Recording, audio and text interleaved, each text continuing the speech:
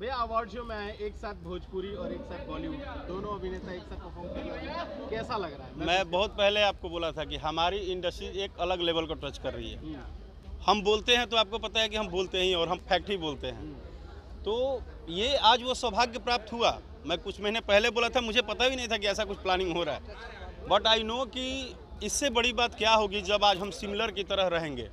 उठेंगे, बैठेंगे, एक दूसरे से मिलेंगे जुलेंगे परफॉर्मेंस करेंगे। और कहीं ना कहीं हम जिनको बचपन से देखते आ रहे हैं, हमारे बहुत सारे सीनियर आर्टिस्ट आए हैं, हम किसी भाषा के ऊपर नहीं जाएँगे आर्टिस्ट के ऊपर जाएँगे, जिनको हम सीखते हैं, देखते हैं, सुनते हैं बचपन से। सादा टीवी पे जाके केवाड़ी ठकठका के देखते थे, आज वो सामने दिखेंगे तो कहीं ना कहीं उनसे कुछ सीखेंगे और बहुत कुछ सीखने को मिलेगा।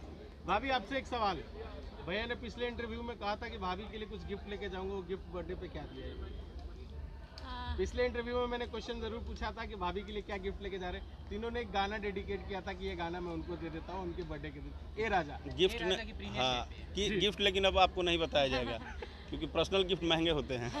अच्छा एक और चीज़ भैया भोजपुरी बदल चुकी है। आप भी ट्रेंडिंग में चलते हैं बहुत ज़्यादा।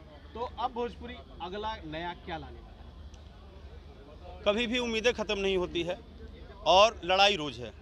आप जहाँ पहुँचे हैं वहाँ से फिर आगे जाना है फिर वहाँ से आगे जाना है।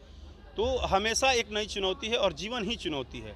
तो हर चुनौती को पार पाना है यानी कि दिन रात एक कड़ी मेहनत होती रहेगी। भैया आज आपके कौन से गाने पे परफॉर्मेंस है या फिर आज आप दर्शक में राजा जाई ना बहरिया राजा तू तो जवान हम लइके अगर दर्शकों के हो जाए एक बार।